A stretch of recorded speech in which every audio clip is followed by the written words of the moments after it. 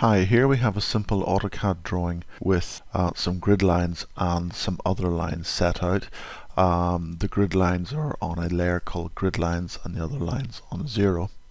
First thing what I want to do is I want to go to File, Save As, and I want to save it as as a low-level AutoCAD DXF file. So 2000, 2004's plenty good. It means the file is a lot smaller as well. So I'm just going to go save and then I need to exit from AutoCAD because if I don't save it as an exit it doesn't release the drawing properly. So 101.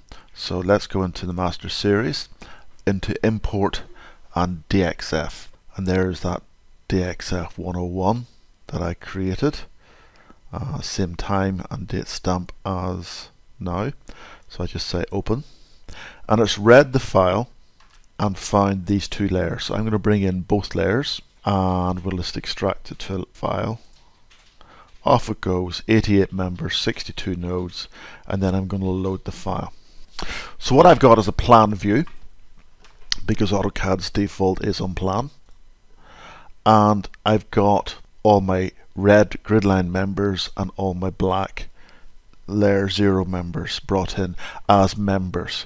So first thing I'm going to do is use my view filter and view by viewing groups and we automatically put each of the layers into a separate viewing group. So I'm going to hide all the zero ones and that's just going to leave me with these. Now I'm going to go to create and add grid lines because we're going to take these lines which it thinks at the moment are actual members and create grid lines for them. I'm going to go up vertically so I'm going to go along the X initially and say draw. And it's going to be orthogonal.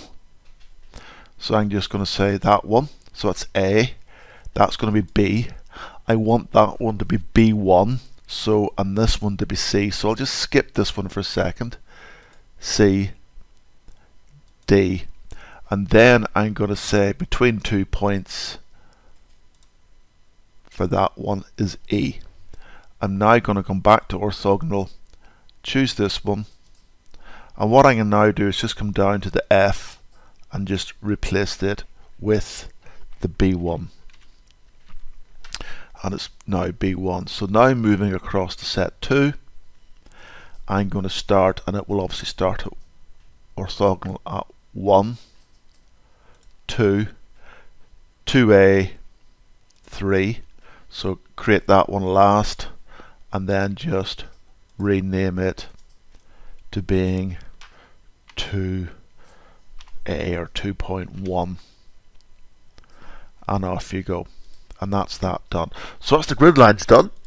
Now because we're only viewing that layer what we can now do under modify is say delete members window the whole lot of them apply and now I have my grid lines without those members. Naturally, the members that I brought in on layer 0 are still available.